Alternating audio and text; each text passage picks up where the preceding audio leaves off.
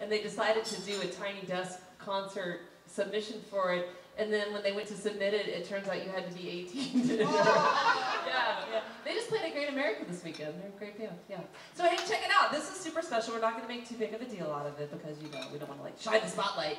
But um, this is Chloe Tietjen. This is her first solo appearance. Like I'm sure a lot of you guys know Chloe, but this is actually one of the things that I love about this series. Like things like taking the, the drummer guy that plays with Phil Lesh and like hearing his song about being, you know, dressing like a rock star. We get to extract people that are in these other musical things that we're familiar with and kind of get down to their essence. So that's what we're going to do over here with Chloe. Welcome. Thank you. Thanks, Paige, so much for the opportunity to perform solo. It was really weird uh, driving up here in uh, the minivan all by myself. I felt really alone. But, um, but it's good, you know? To, to take those chances and, used to it. you know? You're not alone. I'm not alone. I'm here with you guys and uh, playing some songs that I've never played anywhere. So, yeah. Um, and if I crash and burn, then that's just all part of the process, you know.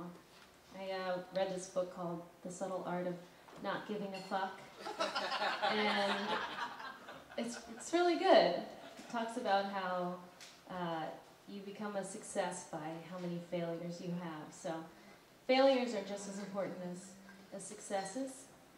And yeah.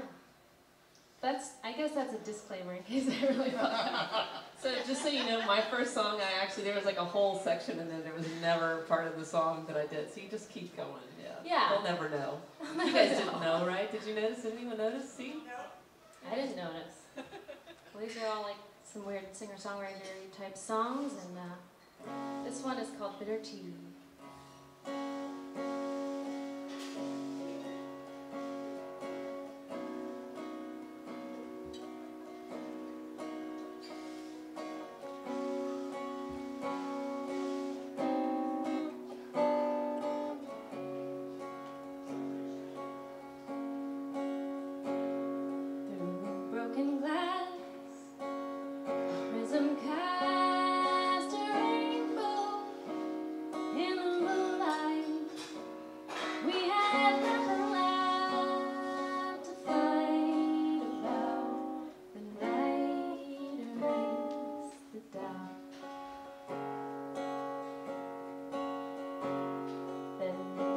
Morning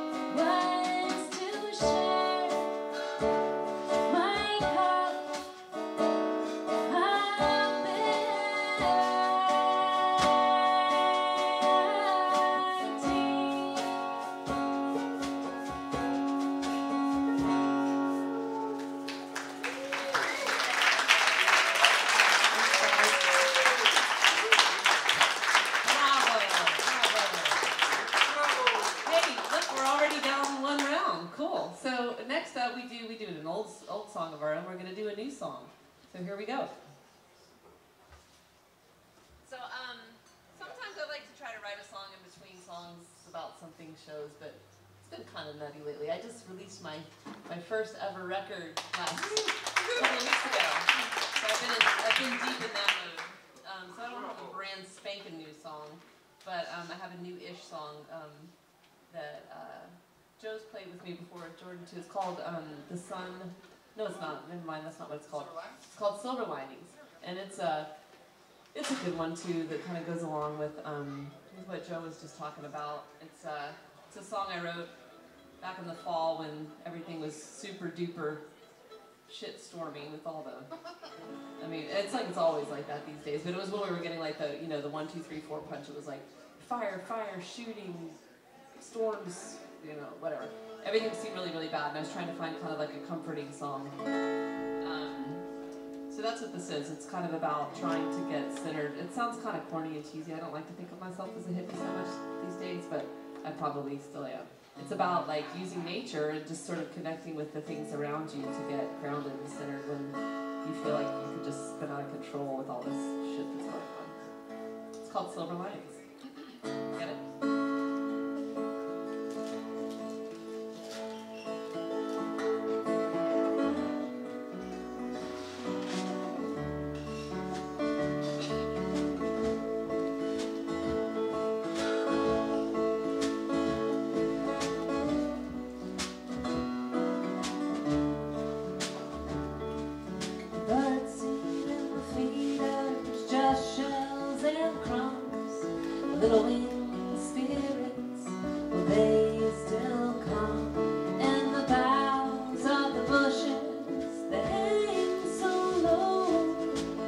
Root for the home team when the warm